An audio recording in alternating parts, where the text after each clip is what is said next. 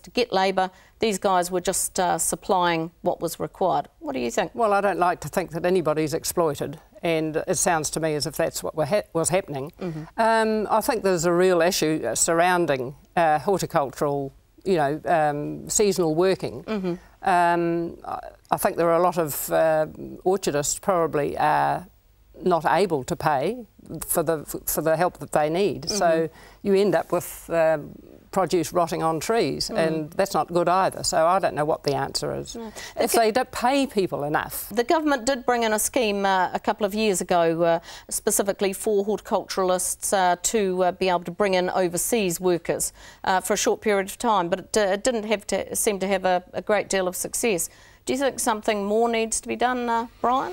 Yeah, look, uh, we could get onto this, but I think mm. our immigration policy is, is very important and we don't seem to have a clear one. It's a bit like our overseas ownership. The Australian election at the moment, they're debating this very issue about migrant workers mm. and about immigration. And we should be doing the yeah, same? Yeah, we, we tend to respond to something like has happened in the reactive. Hawke's Bay mm. and reactive. We mm. don't have plans. The Australians, I'm not saying Australia is the greatest place in the world, but they do think about these things before the events occur. And this issue about migrant workers workers is a classic example where we respond rather than having a mm. clear plan. Right. We were in uh, market gardening and uh, we had uh, families from Tuvalu mm. came and worked on the in the glass houses and the Mm. And that worked and very worked well. successfully, yes. Yes, sent yeah. money home to their families yeah. and came every year. Mm, mm. Which is great to mm. hear. Yeah. Now, uh, Rodney uh, has lost its last gasp bid not to be part of the super city. Uh, Brian, what uh, what do you think? It was going to happen all along, or uh, you feel some sympathy for those uh, northerners who don't want to be called Aucklanders? Yeah, I can understand that very definitely. Rodney does seem to me to be a bit distant from Auckland. I mean, when you look at the issues that we have here in the centre of the city and discussions about motorways through the eastern corridors and stuff like that, it's quite different to the interests and the local issues in Rodney, so I'm very sympathetic towards them. But look, this is the bill, this is what happens, and often it's always at the fringes mm -hmm. that there's always the most dispute, and Rodney is obviously at the fringe on this one. Well, what do you think, Allison? I think they have to accept it, but I think what they've got to do now is to get somebody on the councils, mm -hmm. on their local boards, and yeah. and so that they have a say. Really, and they'll be foolish not issues. to, wouldn't yeah. they? Yeah, good you know, if they get at least half, there's mm. nine, I think, available spots, so they should be fighting hard to have at least half of them if they can. Yes, yeah. Mm. Coming up next, we give praise and a bollocking where it's due in our ag sector. Stay with us.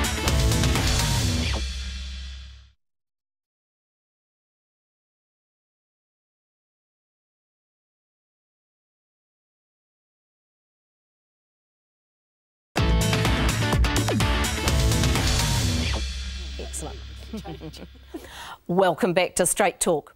Now it's on to you beauty praise or a bollocking, the opposite. What do you have, Brian?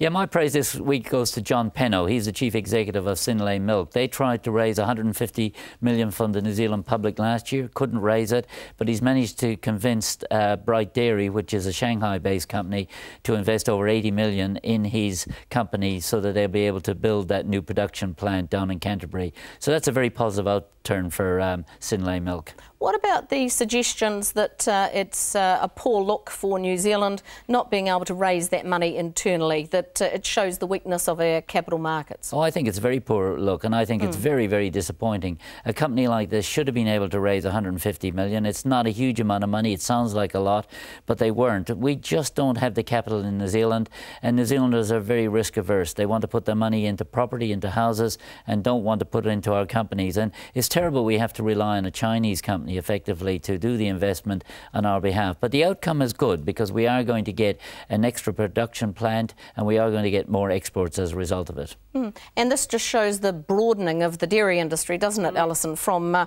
you know a couple of players through to uh, startup companies, we're now looking at uh, getting into almost double figures. Mm, sounds very positive, doesn't so it? So it's, it's, quite a change from uh, the old days. yes. Yeah. Now, Brian, uh, I believe you also have a bollocking. I've got a very big bollocking, in fact, a huge one, and, it's, and it, it's, it's, for the board of directors of New Zealand Farming Systems Uruguay. Mm -hmm. This was a company that raised money from New Zealand public at a dollar per share and then a dollar fifty. It has been managed and run very, very poorly, and as a result, Olam of Singapore is making a takeover of 55 cents. So well below the price that New Zealand investors put, uh, uh, paid to buy their shares. Mm-hmm. And the reason why the offer is so low is because it has been managed very, very poorly. Mm. Strategy was all wrong. So they deserve the biggest bollocking we can give them. but Olam looks set to uh, make a good success of the venture.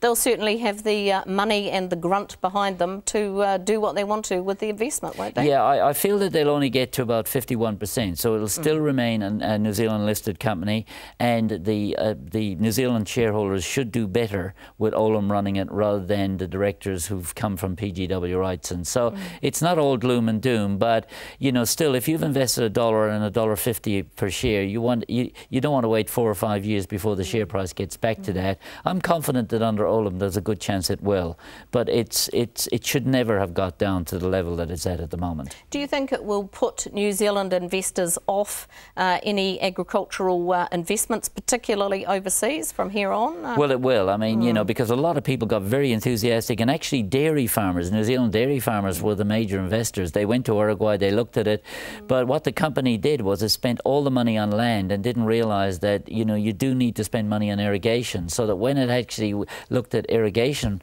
uh, strategies, it didn't have the money, so it had to borrow it. So it spent too much of the initial funds on buying land rather than putting in good irrigation systems on these farms.